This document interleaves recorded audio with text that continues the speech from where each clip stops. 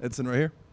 So another fight week underway. Uh, how you feeling a couple days before uh, your latest fight? Feel great. Uh, it's one more fight week. I think that's gonna be my third fight in UFC. The most important, I'm very happy. You know, I really enjoyed the whole process, and yeah, I'm very very happy.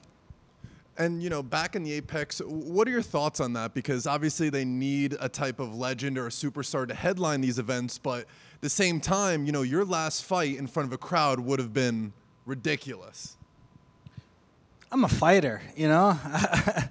of course, I, I, I love to fight in front of the people, you know. I love to hear the people, wow, whoa. But I'm a fighter, you know. Uh, I, I think the cage, inside the cage, does not change, you know. It's still the same. Doesn't matter if you have some people around or not. On the apex, I have, you know, little people. But I'm a fighter, you know. I, to be honest, I, want, I love to fight. I don't you know, worry about much the people around me. And so, you know, I know it doesn't make a big difference to you, but th- there is still kind of like a business aspect to the MMA game. So, if you had a choice, would you rather headline an Apex event or be on the main card of a pay per view? Uh, like I said, for me, it's not. It's the same, you know. I love to fight. I don't care. It's gonna be the Apex or or, or, or on the, you know, on, on a big state. Uh, I'm a fighter. I love to fight. Uh, you know, for me, it's 50-50. And so now you fought a lot of great fighters in your career. Next up is Lerone Murphy, another you know younger, hungry contender. Uh, what are your thoughts on him, and what do you expect from him in the cage? Uh, he's a really good fighter. You know, he he he he show you know he have six fight in UFC, but he show he's one of the best. Of course, UFC don't give him a chance to fight the main event because uh, he's a nice guy. He, he's fighting main event because he deserved because he's really good.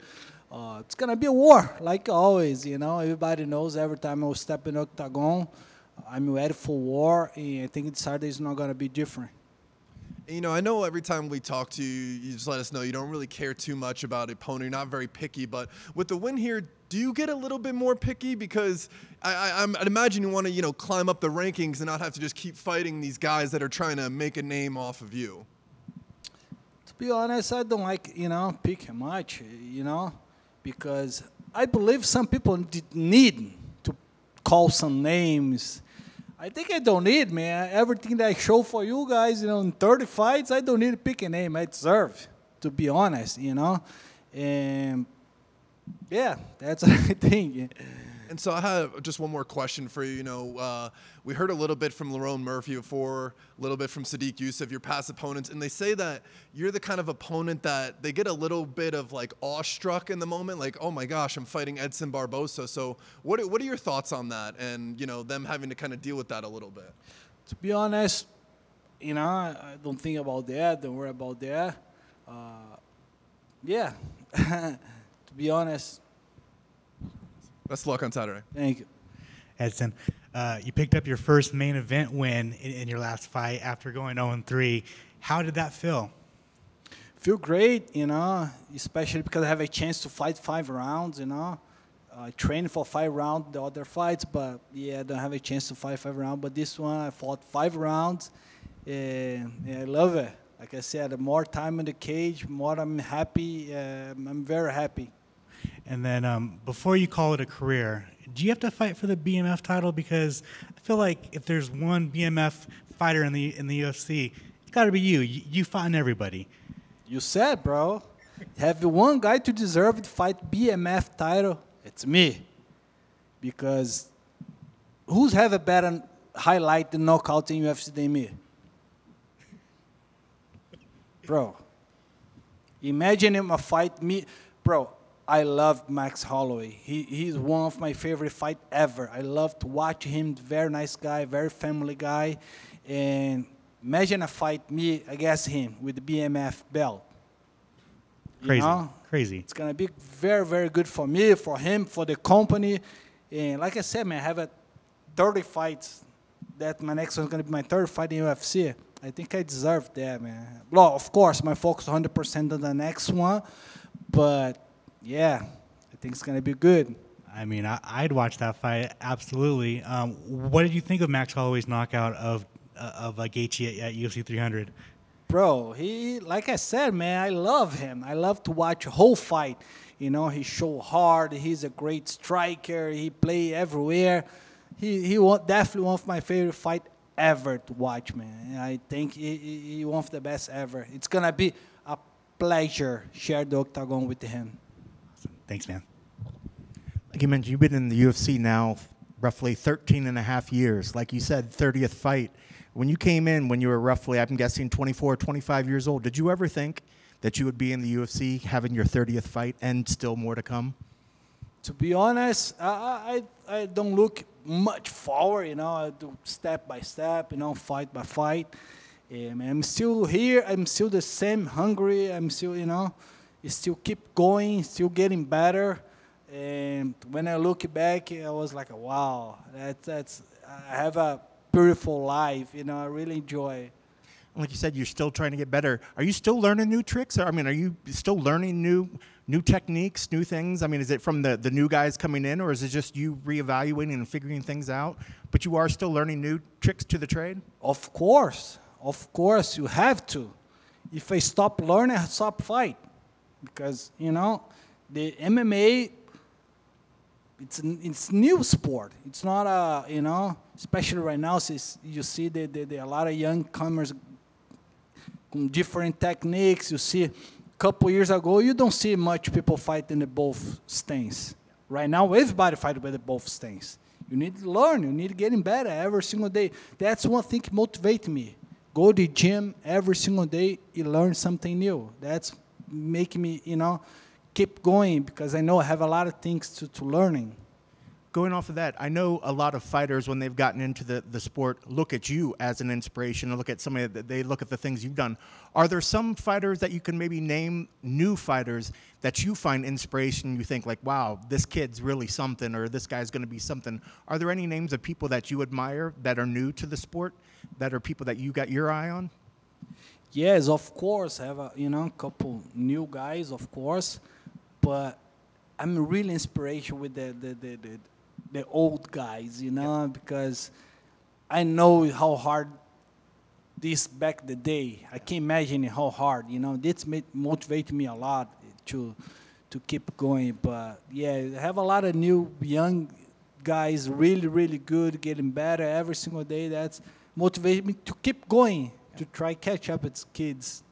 Well, and again, you're 38. You got Jim Miller, who's 40, who's fighting. What did you think about his last performances, or just how he's been recently? Maybe not the last performance, but recently he's still fighting some of his best best MMA right now.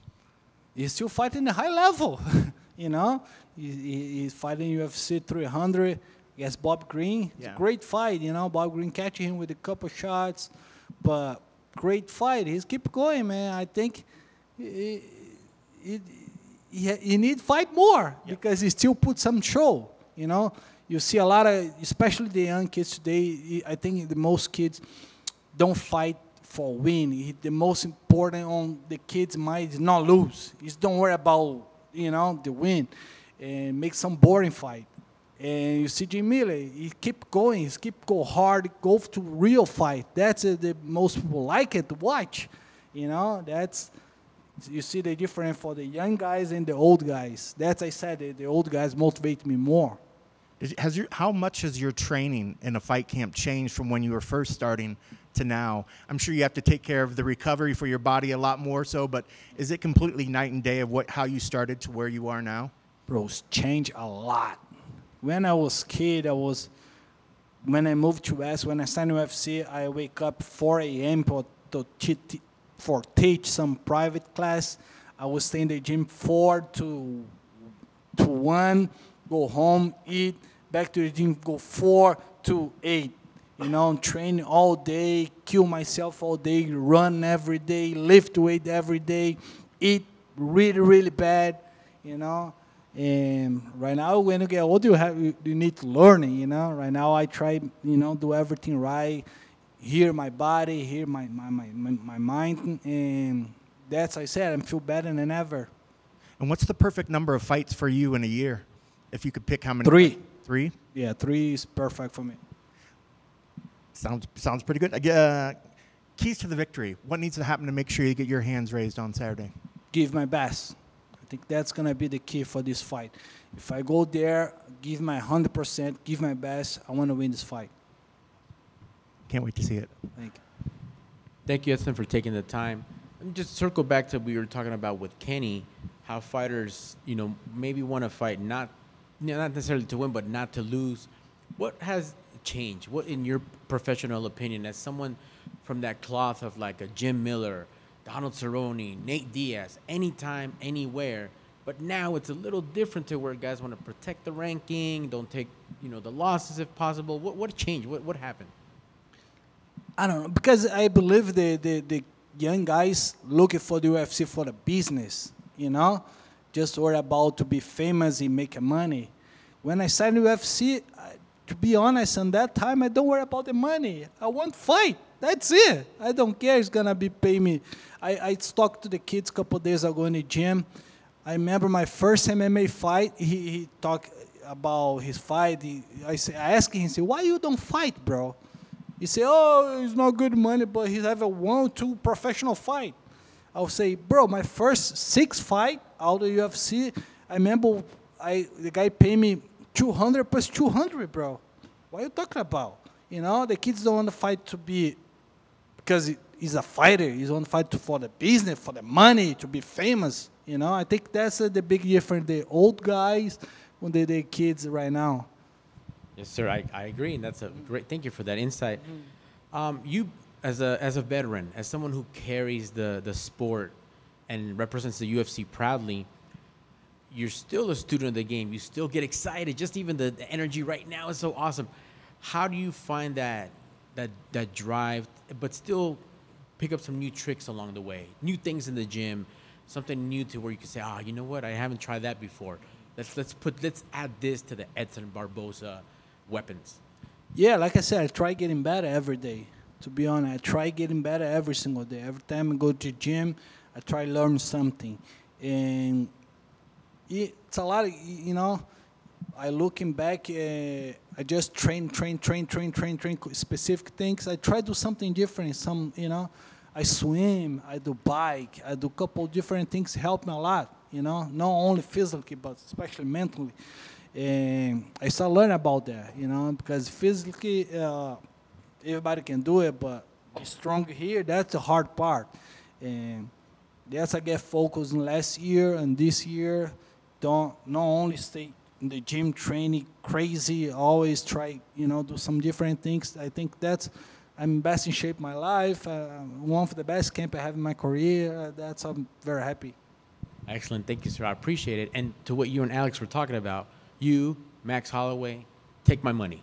Can't wait if that ever happens. You hear, guys? Please. Thank you. Dana, you hear that? Thank you, sir. Good luck on Saturday. Thank you.